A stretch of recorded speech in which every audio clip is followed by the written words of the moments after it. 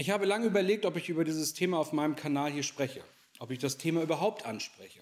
Ja, dann, so wie die Medien zum Beispiel es in den letzten Tagen, Wochen, wenn nicht sogar Monaten und Jahren immer wieder versucht haben, unter den Teppich zu kehren, so steht halt dieser riesengroße rosa Elefant mittlerweile so demonstrativ und so unübersehbar im Raum, dass es eigentlich jedem wie Schuppen von den Augen fallen sollte. Und wenn England jetzt in den letzten fünf Tagen uns nicht Warnung genug sein sollte, dann weiß ich ehrlich gesagt nicht mehr, wohin hier wirklich die Reise noch gehen wird.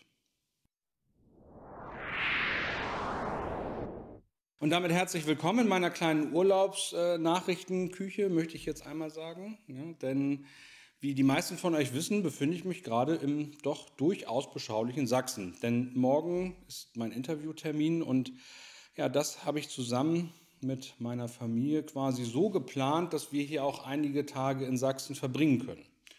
Wir waren schon in Pirna, und, aber erzähle ich euch gegebenenfalls irgendwann später nochmal davon.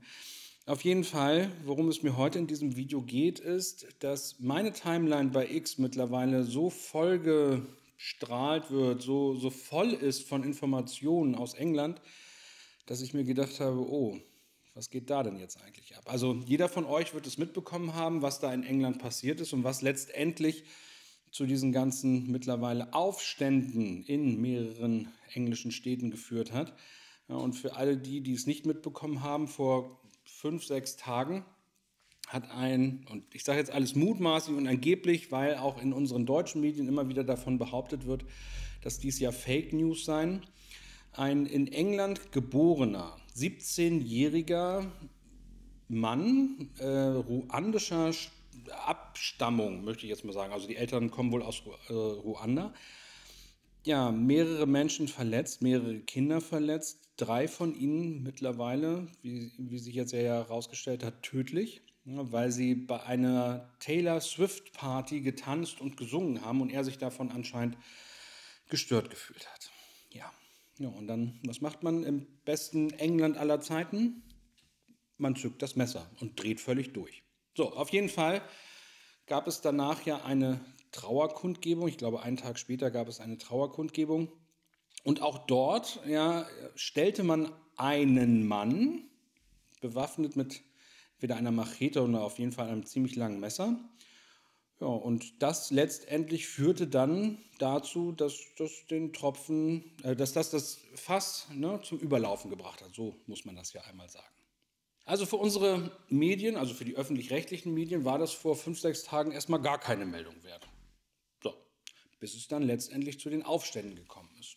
Da war es dann plötzlich ja eine Meldung wert und ähm, die Verteidiger des öffentlich-rechtlichen Rundfunks sagen immer wieder, und hier ist zum Beispiel auch ein gewisser Herr Polenz zu nennen, dass das öffentlich-rechtliche Fernsehen ja hier ganz genau abwägt, ja, was dann quasi gesagt werden muss und was nicht. Ja, der Deutsche muss ja nicht wissen, was überall in der Welt passiert. Ja, so kann man das natürlich auch interpretieren.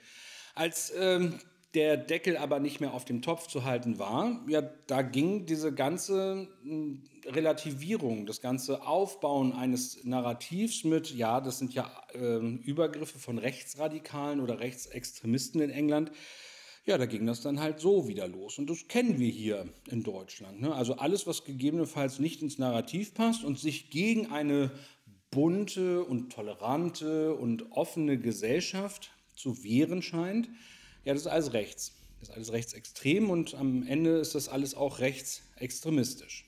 Ja, und in England? Ja, in England sieht das ja letztendlich nicht anders aus, ehrlich gesagt. Also ne, der BBC ist jetzt auch nicht unbedingt das Pendant zu den öffentlich-rechtlichen, möchte ich einmal sagen, aber auch dort war die Meldung eher untergeordneter Natur, zumindest am Anfang bis sich irgendwann der neue Premierminister zu Wort gemeldet hat und gesagt hat, ne, also jetzt in seinem längeren Statement kurz zusammengefasst hat, dass er auf jeden Fall die Muslime in England beschützen würde. Das goss noch mal Öl ins Feuer. Und zwar so massiv, dass es mittlerweile dazu gekommen ist, dass sich die bis vor Jahren oder Monaten, sage ich mal, noch spinnefeindlichen Katholiken ja, und Protestanten in England ne, und die Älteren von euch die kennen noch den Nordirland-Konflikt, dass die gemeinsam auf die Straße gehen, dass die gemeinsam ihre Flaggen ja, schwenken und dass die gemeinsam protestieren.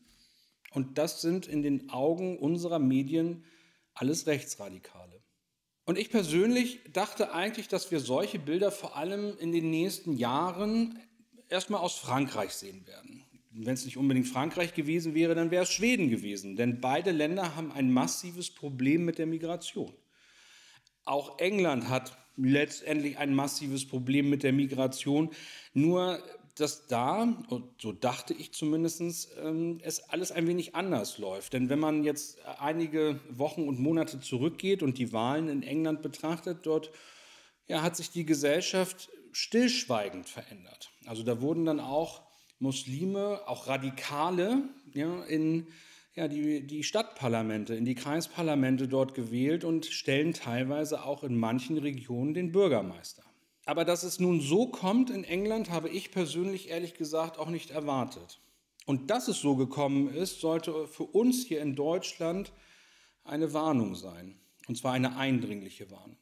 Denn auch wir hier in Deutschland erleben jeden Tag, also wenn man die, den Medien glauben mag, beziehungsweise wenn man da die Nachrichten liest, dass es immer wieder Einzelfälle zu geben scheint. Ein Einzelfall in der Stadt, ein Einzelfall in der Stadt und dann gibt es noch ein halbes Dutzend Einzelfälle in anderen Städten. Meistens hat da ein, spielt da ein Messer eine Rolle. Und auch wieder die Älteren unter uns, die kennen es noch, wenn man sich mal geprügelt hat. Und jeder von uns hat sich wahrscheinlich in seiner Kindheit mal geprügelt und auch als junger Erwachsener vielleicht. Da wurde so lange gemacht, sage ich mal, bis einer der beiden Kontrahenten am Boden lag. Und das war's. Ja, und da hat man keine Waffen eingesetzt. Also zumindest ist es mir in meiner Zeit von damals nicht bekannt gewesen, dass man irgendwie mit Messern, Macheten und Knüppeln aufeinander losgegangen ist. Und vor allem, wenn ein Kontrahent am Boden lag, dann war vorbei. So, dann ist man danach gegebenenfalls im besten Falle aufgestanden, ja, gesagt, alles klar, ja, man hat eine Abreibung kassiert und dann ist man zusammen Bierchen trinken gegangen. Ja, so, und dann war das Thema erledigt. Heutzutage wird gefühlt sofort das Messer gezückt. Ja, und wir sehen es auch immer wieder und immer wieder und immer wieder, ja, dass quasi die Nachrichten voll mit diesen Meldungen sind. Und wie gesagt, unsere deutschen Medien, die versuchen das alles in ein gewisses, ja, wie soll ich das sagen, ein, mit einem gewissen Narrativ zu umschreiben oder gewisse Dinge vielleicht auch wegzulassen, die für den Kontext in dieser Hinsicht wichtig sind. Und äh, der Innenminister von Nordrhein-Westfalen sagte es ja jetzt zum Beispiel auch, dass in Zukunft die Nationalität der entsprechenden Angreifer auch genannt werden soll. Ne, er nennt das Transparenzoffensive. Allerdings, diese Transparenzoffensive, die kommt halt zu spät. Denn jeder, wirklich jeder, ja, der jetzt nicht irgendwie unter einem Stein lebt oder nicht lesen kann oder von der Außenwelt nichts mitbekommen möchte, der weiß, dass wir hier ein massives Problem vor allem mit einer gewissen, einem gewissen Klientel, möchte ich jetzt einmal sagen, aus einer gewissen Region dieser Welt ja, wirklich haben. Und daher kann man halt auch nicht mehr einfach nur von einem Einzelfall sprechen, wenn ein solches Problem systematisch immer wieder auftritt und symptomatisch für eine ganze Bevölkerungsgruppe wird, dann ist das kein Einzelfall mehr. Dann ist das die Regel. Und wenn dies die Regel ist, dann sollte man dies auch so ansprechen. Denn nur wenn man Probleme anspricht und auch benennt, kann man etwas gegen diese Probleme auch tun. Klipp und klar. Wenn man immer nur wieder die Symptome eines Problems anspricht, wenn man immer nur wieder versucht, drumherum zu schwafeln, dann funktioniert das nicht. Und ja, einige von euch werden jetzt auch sagen, ja Matthias, warum sprichst du das Problem dann hier nicht ganz direkt an? Warum sagst du denn nicht, was hier Phase ist? Was, ne, sprich doch mal Tacheles. Und ich sehe das auch in meinen Kommentaren. Wenn ich das hier mache, was meint ihr, wie lange dieser Kanal hier noch existieren würde? Deswegen versuche auch ich hier ein wenig, ich möchte mal sagen, neutraler zu reden und auch ein wenig neutraler zu agieren. Denn ja, wer die Wahrheit sagt, auch in diesem Land, der braucht ein durchaus schnelles Pferd. Aber wenn hier eine Politik verfolgt wird ja, unter dem Schlagsatz, es kann halt nicht sein, was nicht sein darf, dann ist es kein Wunder, dass, dass uns jetzt gerade hier in Deutschland, aber vor allem auch in England den Engländern massivst auf die Füße fällt. Denn wenn man bei uns in den sozialen Medien, und mit uns meine ich jetzt den sozialen Medien, in denen die Beiträge auf Deutsch stehen, schon zu lesen bekommt, dass wir eigentlich nur noch die Wahl haben zwischen Remigration und Bürgerkrieg, dann sollte England uns eine wirklich eindringliche Warnung sein. Und damit danke ich euch wieder recht herzlich für eure Aufmerksamkeit. Ich wünsche euch allen noch einen wirklich, wirklich tollen, sonnigen Tag. Beste Gesundheit, passt auf euch auf. Ja, und ihr kennt's, bin ich im Übrigen der Meinung, dass eine Regierung, die 68,8 Milliarden Euro in über 8000 Projekten in 110 Ländern dieser Erde und 48,2 Milliarden Euro auf Grundlage der illegalen Migration hier in Deutschland ausgibt, aber uns allen sagt, dass wir nun alle den Gürtel enger schnallen und mehr Steuern zahlen sollen, einfach abgewählt.